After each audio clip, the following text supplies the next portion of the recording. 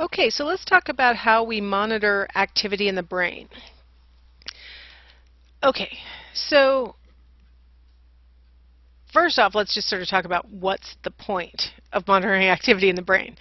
Um, if we want to try and figure out what part of your brain does what, we need to sort of be able to look inside your brain while you're doing things. Um, on the far left, we have the EEG, uh, electroencephalogram, and it is uh, a series of electrodes that are literally glued to your scalp and they're put in very specific spots where we know that there are certain nuclear or nucleus clusters of neurons. And we either ask you to do something like try and memorize a list of words, or um, maybe we might ask you to think of a happy memory or you know something like that. Or maybe we're interested in whether um, there's abnormal functioning going on in your brain. So maybe we just want to monitor you while you're sitting there. Or maybe we want to see what your brain looks like while you're dreaming. So maybe we'll put these on you while you're dreaming. I mean there's a lot of different reasons why we might want to do an EEG but what the EEG does is collects that activity of the electricity below each electrode. Um, so it kind of tells us this region of the brain was active during the task. So it's not very specific, but it gives us some insight. The PET scan, which is the next one in, positron emission tomography, um, involves injecting some radioactive glucose into your blood. That sounds pretty horrible, but it's a low dose of, of radiation. And of course, PET scans are generally used because we are worried about something being wrong or we're doing it for research. Um, and the thing is, your brain operates exclusively on glucose. It can't operate on like stored fat or anything like that. It needs the the free floating glucose that's in your blood at the moment to fuel it while it's doing tasks. And so by injecting you with a radioactive um, dose of glucose, and then we ask you to do a task while in this PET scan tube that's going to be picking up the radioactivity. So we ask you to do a task. The parts of your brain that are most active during that task will light up when the um, in that um, tube that's looking for the radiation. And we use computers to colorize it, yada yada. You end up with a, a, a PET scan. The next one in is an MRI, and that is kind of looks like a, an X-ray, but it uses magnet magnets instead of X-rays. And what's nice about it is it can see soft tissue in pretty good detail. So if you've ever had an MRI because of an injury to a shoulder or knee or something like that, you know what I'm talking about. Um, they, it gives you very fine resolution. Now, of course, seeing the structures are interesting. If you've had somebody who's had a stroke and now they've lost some skill or something like that, that can be really useful. But for a lot of psychological functioning, just seeing the gross morphology is not that interesting. So luckily the fMRI came along, functional MRI. So now it's kind of like a, a, hybrid of the PET scan and the MRI because we can inject you with some markers, have you do a task while in the MRI tube, and then use a computer to colorize which parts of your brain were the most active during the task. And so we can actually see your brain with really great detail. The, the PET scan gives you much um, much uh, less definition than the fMRI does. You can really see what structures were involved in the fMRI. Now, having said all of that, it doesn't matter which of these we're talking about. They're all pretty, um, mm, I want to say ham-fisted. I don't know if everybody will know what that idiom means. Um, they're very, uh, each of these are very imprecise. Uh, in detecting what's going on exactly in your brain. And I just I like to mention that to my intro students because um, a lot of times when you see that there's a PET scan involved in the in the report that you're reading or you see something that implies that this is the structure of the brain that's doing something that we know for sure it's doing, that's usually an overstatement. Um, we're not exactly sure what part of your brain does what. So we're really at the very, very beginning stages of trying to figure that stuff out. So always just be really careful. We don't know exactly what different structures do. Now, having said that, the structures that we do know. I'm going to start with the oldest part of our brain, which is the brainstem, and then kind of work our way up to the most evolved, highest level part of our brain. When I say it's the oldest part of the brain, I mean that a couple of ways because it's evolutionarily the oldest part of the brain because any creature that has a spinal column has a brainstem.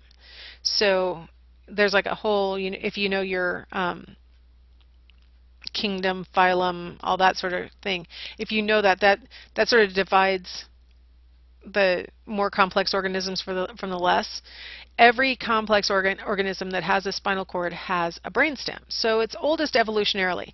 Now, if you're not a big fan of evolution, that's okay because it's the oldest part of your brain. As an individual person, this was the first thing that ever developed in you. For a period of time, you were umbilical cord and brainstem, and then everything else grew around you.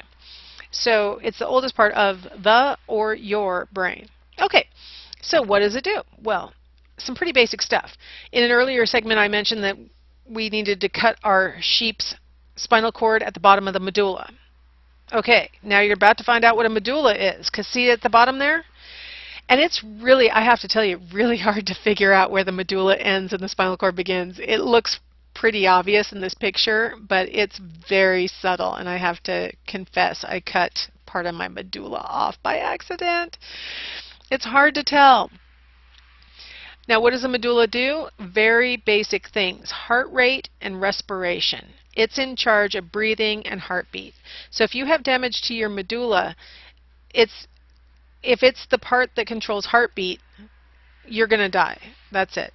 If it's the part that controls breathing, if you have prompt medical attention and they can get you on a ventilator, you can survive that. But you may, if it if it can't, you know, like sort of, maybe it was just a um, like a blow to your medulla and it was swollen and then the swelling goes away, then you might start breathing out, uh, you know, without the ventilator again.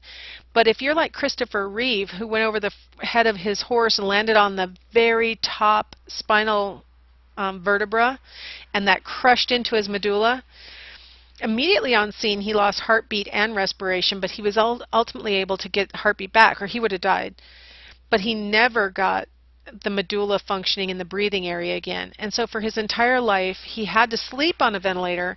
He could get off the ventilator and voluntarily breathe, where he had to completely consciously think, breathe in, breathe out. Whereas you can breathe and not think about it. Um, he couldn't do it without thinking about it because that requires the medulla. The next level up, um, I wanted to focus on the reticular formation. The reticular formation is in charge of let me check this real quick. Okay, yeah, see, I thought I, I thought I had made zoom ins. So medulla does heartbeat and respiration. Um, the reticular formation's in charge of arousal, how awake you are, how alert you are. Um, so when you're feeling sleepy in the evening, that's your reticular formation telling you it's time to get ready to go to bed. Um, when you feel sleepier in the winter than you do in the summer, that's your reticular formation responding to the lower light in the wintertime. So it's in charge of sort of your sleep-wake circadian rhythm, level of arousal. We use the word arousal not to mean sexual arousal, but to say how your body is functioning. You know, um, your heart rate, stuff like that. It's so it controls um, you know, like part of your sympathetic nervous system, things like that. At the very top is this ball called the thalamus, and it routes all the sensory inputs that are coming in through your eyes, your nose, your tongue, your ears, your, your skin receptors. As that stuff comes in, your thalamus assesses that information and decides where to send it. So anything that's coming in through your eyes gets sent to the back of your brain for processing. Anything for touch will go up to the sensory receptor sites and, and so on.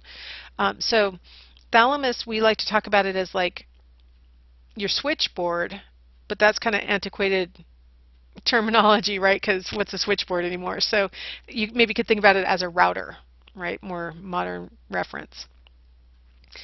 It's the point at which things switch between your body and your brain. Um, in this little diagram, the stuff that's left, I mean, the stuff that's colored blue is processed by the left side of the brain, which is also colored blue. Everything that's colored yellow is processed by the right side of the brain, which is also color, colored yellow. There, it's at the it's at the level of the thalamus where information switches and gets processed by the other side. Now, not only does the thalamus control that stuff coming in and switches sides, but it turns out that as stuff's going out of your brain to control movement and stuff like that, it also switches sides. But that's not because of the thalamus; it's because of something else. Okay, we're still on the brainstem. But now we're going to look from a different angle. And see now you can see the spinal cord and then see how it starts to swell and that becomes the medulla. Um, on, and then at the very top you can see that pinkish ball that is the thalamus. So that's what I've been talking about. Now that orange area that's got those striations on it, that you see there's two of them, those are the cerebellum. Um, there's two hemispheres to the cerebellum. It's referred to as the little brain because it does a lot of the same stuff as the higher order cortex does that we're going to talk about later, but in a more rudimentary form. So like it handles learning, but only really rudimentary learning. Um, it handles balance. It handles sort of things that you can do without having to think about them. So, you know, a soccer player doesn't, in fact, if he, I was going to say he doesn't have to think about what to do to kick that ball. In fact, if he were to think about it, he wouldn't be as effective as if he just lets his cerebellum take over and takes his conscious mind out of it. Let the cerebellum do its work. Um, it also is the, like I said, it handles low-level learning. So I put there nonverbal learning. It's the it handles the kind of learning that we're going to talk about in most of the chapter on learning. It also handles nonverbal memory, things that you don't necessarily know you know. Um, I don't know if uh, we call that implicit memory. That kind of memory is housed in the cerebellum. So we'll talk about those in other chapters. Now, between the very basic brainstem that we've been talking about, and I just wanted to point out, I, I hope you guys can see my mouse activities here. You see how they've cut through the cerebellum, and so now you can see not only is it striated on the outside, but it's got like these, this leafy quality to it on the inside. What that's, what that's showing us is there's a lot of surface area for neurons to be um, stored all along all that surface area. Okay, so that's the cerebellum. Um, in this picture, the thalamus is colored yellow? Sour green. I don't know what color that is. Acid green, I think they might call it. Um, so the thalamus is always in the middle. In this picture, it happens to be greenish yellow. Okay, I was just trying to get you oriented to what you've already seen. Now we're going to talk about the stuff that's more in the middle, the limbic system. Um, some people call it the border system because it's sort of between the brainstem and the cortex, so it's sort of the border. Um, others, other people call it the reptilian brain because it's present in reptiles, alligators, stuff like that. Um, what does it do? Well, it coordinates emotions, very basic emotions like fear and aggression. It handles very basic drives such as hunger and the drive to reprodu reproduce, sex. And it also is really important in the formation of what we call episodic memories your memory of you know episodes, things that you know, things that you know you know. so the cerebellum is in charge of things you don't necessarily know you know, and the limbic system um, has structures that help you to store the things you do know you know. now it helps you to store it. The, the information is not stored there permanently, but it helps you to form it for per permanent storage. Okay. So let's in fact start with that structure, the hippocampus. The hippocampus is that nice blue structure. It's um, Latin, I think, possibly Greek, for seahorse. Um, because it's got that sort of curling tail look, and, and when you dissect it, it looks a lot like a seahorse. Anyway, it is in charge of processing conscious, things that you're aware of, um, memories that you like your knowledge of where you were on September 11th, 2001. That would be the kind of memory that the hippocampus processes. Um, that kind of I know where I was, or your memory of the first time you met your best friend. Um, those are the kinds of things that the hippocampus can handle. Um, it works with your amygdala, which is the purple structure right next to it, to sort of automatically, without any effort, store memories that are really emotionally charged. And we'll talk about that more when we get to the chapter on memory. But cer certain kinds of memories, you don't even have to try, and your hippocampus and your amygdala will say, uh, I don't care what our owner thinks, we definitely need to remember this. Um, so that's the hippocampus. And uh, we're going to talk about the hippocampus when we talk about schizophrenia, because one of the things that schizophrenics have trouble with is their conscious awareness. Um, we're going to talk about hippocampus when we get to the chapter on memory. The amygdala, which I've already mentioned, um, amygdala is, again, I think it's Latin for almond, and because it's almond shaped, especially when you dissect it, it totally looks like an almond with the same little like skin around the outside. It really does look like an almond. Um, it's lima bean sized, ironically. Um, I don't know if you know what size an, uh, a lima bean is, but it's roughly twice as big as a, a shelled almond. Maybe it's the size of a, an almond still in the shell would be a good um, consistent size comparison. But there's uh, actually amygdala and hippocampus on both sides of your brain. So you have two separate hippocampuses and two separate amygdala, one on each side. Um, they are, the amygdala is important for processing emotions, especially fear and aggression. There's a particular part of your amygdala that when it gets active, you feel scared.